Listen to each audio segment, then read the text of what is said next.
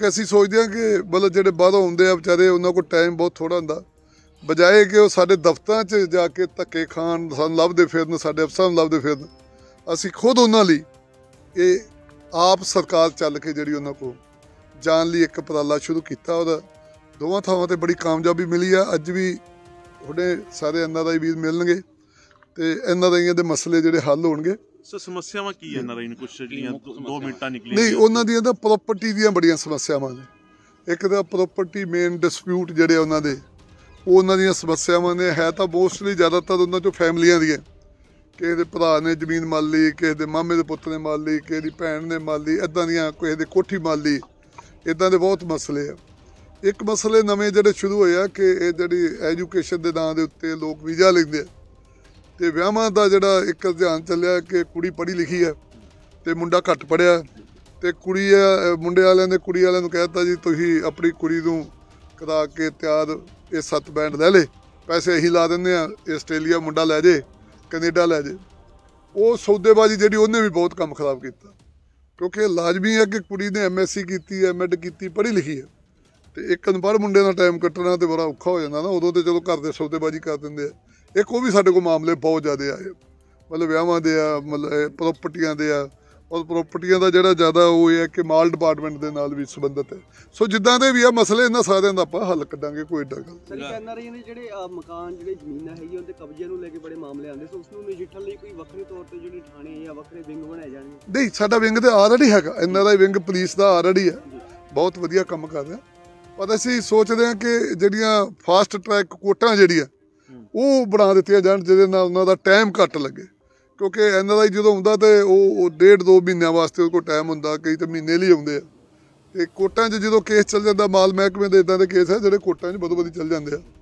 ਉਹ ਬੜਾ ਟਾਈਮ ਲੱਗਦਾ, ਉਹ ਸੀਐਮ ਸਾਹਿਬ ਨੂੰ ਬੇਨਤੀ ਕੀਤੀ ਹੈ ਕਿ ਆਪਾਂ ਇਦਾਂ ਦੀ ਕੋਈ ਇੱਕ ਕੋਟਾਂ ਬਣਾਈਏ ਜਿਨ੍ਹਾਂ 'ਚ ਇਹਨਾਂ ਦੇ ਮਾਮਲੇ ਤੁਰੰਤ ਜਿਹੜੇ ਹੱਲ ਹੋ ਜਾ ਕਰਨ ਔਰ ਜ਼ਿਲ੍ਹੇ ਬਾਅਦ ਨਿਊਡਲ ਅਫਸਰ ਜਿਹੜੇ ਇੱਕ ਇੱਕ ਲਾ ਦਿੱਤੇ ਜਾਣ। ਸਰ ਕੋਈ ਵੈਬਸਾਈਟ ਵੀ ਕੋਈ ਬਣਾਈ ਗਈ ਹੈ ਸਮੱਸਿਆ ਹਾਂਜੀ ਹਾਂਜੀ ਵੈਬਸਾਈਟ ਵੀ ਹੈਗੀ। ਵੈਬ ਵੈਬਸਾਈਟ ਵੀ ਹੈਗੀ ਆ। ਵੈਬਸਾਈਟ ਦੇ ਉੱਤੇ ਰੋਜ਼ ਅੱਜ ਵੀ ਜਿੱਦਾਂ ਇੱਥੇ ਆਏ ਆ ਕੇਸ ਲੋਕਾਂ ਨੇ ਆਪਣੀਆਂ ਐਂਟਰੀਆਂ ਕੀਤੀਆਂ। ਵੈਬਸਾਈਟ ਹੈ ਸਾਡੀ ਸਰਕਾਰ ਦੀ। ਬਹੁਤ ਉੱਤੇ ਲੋਕ ਐਂਟਰੀ ਕਰਦੇ ਆ ਦੇਸ਼ਾਂ ਵਿਦੇਸ਼ਾਂ 'ਚੋਂ ਈਮੇਲਾਂ ਕਰਦੇ ਆ। ਸਾਡੇ ਕੋਲ ਆਪਣੇ ਉਹ ਮਸਲੇ ਭੇਜਦੇ ਆ। ਸੋ ਇਹਨਾਂ ਦਾ ਹੀ ਵਾਸਤੇ ਹਰ ਚੀਜ਼ ਹਾਜ਼ਰ ਹੈ। ਉਹ ਤੁਹਾਡੇ ਥਰੂ ਕਹਿਣਾ ਚਾਹੁੰਦਾ ਕਿ ਉਹ ਪੰਜਾਬ 'ਚ ਆਉਣ ਪੰਜਾਬ ਉਹਨਾਂ ਦਾ ਪੰਜਾਬ 'ਚ ਆਪਣੀ ਇਨਵੈਸਟਮੈਂਟ ਕਰਨ। ਉਹਨਾਂ ਦੇ ਘਰ ਦੀ ਉਹਨਾਂ ਦੇ ਜਾਨ ਮਾਲ ਦੀ ਸੁਰੱਖਿਆ ਕਰਨੀ। ਮਾਨ ਸਾਹਿਬ ਦੀ ਸਰਕਾਰ ਦੀ ਡਿਊਟੀ ਆ ਔਰ ਸਾਡੇ ਹੁੰਦਿਆਂ ਐਨਆਰਆਈ ਦੀ ਕੋਈ ਜਾਇਦਾਦ ਨਹੀਂ ਦੱਬ ਸਕਦਾ। ਪਹਿਲਾਂ ਜੋ ਕੁਝ ਹੋਇਆ ਉਹ ਵੀ ਛਡਾ ਕੇ ਦਾਂਗੇ ਪਰ ਹੁਣ ਨਹੀਂ ਕਿਸੇ ਨੂੰ ਮੱਲਣ ਦਿੰਦੇ ਭਾਵੇਂ ਜੋ ਮਰਜ਼ੀ। ਬਹੁਤ ਸਾਰੇ ਪੰਜਾਬ ਦੇ ਨੇ, ਜਿਹੜੇ ਨਹੀਂ ਮਿਲਦੇ ਜਿਹੜੇ ਐਨਆਰਆਈ ਆਉਂਦੇ ਨੇ ਉਹਨਾਂ ਨੂੰ। ਸ਼ੋਰਟ ਟਾਈਮ ਹੁੰਦਾ ਹੈ ਉਹ ਇੱਥੇ ਅਫਸਰਾਂ ਕੋਲ ਧੱਕੇ ਖਾਂਦੇ ਨੇ ਕੋਈ ਅਫਸਰ ਨਹੀਂ ਕੋਈ ਡਿਊਟੀ ਤੇ ਹੈ ਕੋਈ ਮਿਲਦਾ ਨਹੀਂ ਨਹੀਂ ਇਸੇ ਕਰਕੇ ਦੇਖੋ ਇਸੇ ਕਰਕੇ ਤੇ ਇਹ ਰੱਖ ਰਹੇ ਐਨਆਰਆਈ ਮੀਟਸ ਕਿ ਅੱਜ ਦੇਖੋ ਡੀਸੀ ਆਏ ਹੋਣਗੇ ਐਸਐਸਪੀ ਸਾਹਿਬ ਆਏ ਹੋਣਗੇ। ਮੌਕੇ ਦੇ ਉੱਤੇ ਹੀ ਡਿਊਟੀ ਲਾਵਾਂਗੇ ਅਫਸਰਾਂ ਦੀ ਕਿਉਂਕਿ ਉਹ ਵਿਚਾਰੇ ਲੱਭਦੇ ਆ। ਉਹਨਾਂ ਨੂੰ ਮਿਲਣਾ ਔਖਾ ਹੋ ਜਾਂਦਾ। ਸੋ ਅੱਜ ਸਾਰੇ ਅਫਸਰ ਅਸੀਂ ਜਿਹੜੇ ਜਿਹੜੇ ਜਿੱਥੇ ਜਿੱਥੇ ਜਾਂਦੇ ਆ ਜਿੰਨੇ ਜ਼ਿਲ੍ਹੇ ਹੁੰਦੇ ਆ, ਉੱਥੋਂ ਦੇ ਸੰਬੰਧਤ ਡੀਸੀ ਤੇ ਐਸਐਸਪੀ ਨੂੰ ਸੱਦੀਦਾ ਤਾਂ ਜੋ ਐਨਆਰਆਈ ਨੂੰ ਉਸੇ ਵੇਲੇ ਮਿਲਾ ਦਈਦਾ ਵੀ ਇਹਨਾਂ ਦਾ ਮਸਲਾ ਹੁਣੇ ਹੱਲ ਕਰਕੇ ਦਿਓ। ਸਰ ਵੱਡੀ ਗਿਣਤੀ ਵਿੱਚ ਐਮਓਯੂ ਜਿਹੜੇ ਸਾਈਨ ਕੀਤੇ ਗਏ ਨੇ ਕਾਰੋਬਾਰੀਆਂ ਵੱਲੋਂ ਯੂਪੀ ਜਾ ਰਹੇ ਨੇ। UP ਜਾ ਰਹੇ ਨੇ ਉਹਨਾਂ ਨੂੰ ਕਿੱਦਾਂ ਨਹੀਂ ਕੋਈ ਕੋਈ ਕੋਈ ਇਦਾਂ ਦੀ ਗੱਲ ਨਹੀਂ। ਅਸੀਂ ਮਤਲਬ ਜਿਹੜਾ ਪੰਜਾਬ ਦੇ ਵਿੱਚ ਜਿਹੜਾ ਆਪਣਾ ਕੋਈ ਵੀ ਵੱਡਾ ਜਿਹੜਾ ਇੰਡਸਟਰੀ ਵਾਲੇ ਆ, ਵੇਖੋ ਜਾਣ ਨੂੰ ਤੇ ਸਭ ਨੂੰ ਅਧਿਕਾਰ ਆ ਕਿ ਉਹ ਜਿੱਥੇ ਮਰਜ਼ੀ ਜਾਵੇ, ਆਪਣੇ ਨੇ, ਅਗਲੇ ਨੇ ਆਪਣਾ ਬਿਜ਼ਨਸ ਦੇਖਣਾ ਹੁੰਦਾ। ਪਰ ਅਸੀਂ ਮਤਲਬ ਬਾਹਰਲੇ ਸੂਬਿਆਂ ਚੋਂ ਵੀ ਤੇ ਇੱਥੇ ਵੀ ਜਿਹੜੇ ਆਪਣੇ ਮਤਲਬ ਸਨਅਤ ਵਾਲੇ ਆ ਇੰਡਸਟਰੀ ਵਾਲੇ ਆ, ਸਭ ਨੂੰ ਇੱਥੇ ਹੀ ਦੇ ਦਾਂਗੇ ਕਿ ਇੱਥੇ ਇੰਡਸਟਰੀ ਲਾਓ। ਅਸੀਂ ਕਿਉਂਕਿ ਅਸੀਂ ਪੰਜਾਬ ਦੇ ਵਿੱਚ ਇਦਾਂ ਦਾ ਮਾਹੌਲ ਬਣਾ ਰਹੇ ਹਾਂ ਕਿ ਹਰ ਬੰਦਾ ਇੱਥੇ ਆ ਕੇ ਆਪਣੀ ਇੰਡਸਟਰੀ ਲਾਵੇ। ਕਾਨੂੰਨ ਵਾਸਤਾ ਨੂੰ ਲੈ ਕੇ ਸਵਾਲ ਚੁੱਕੇ ਗਏ ਉਹਨਾਂ ਵੱਲੋਂ।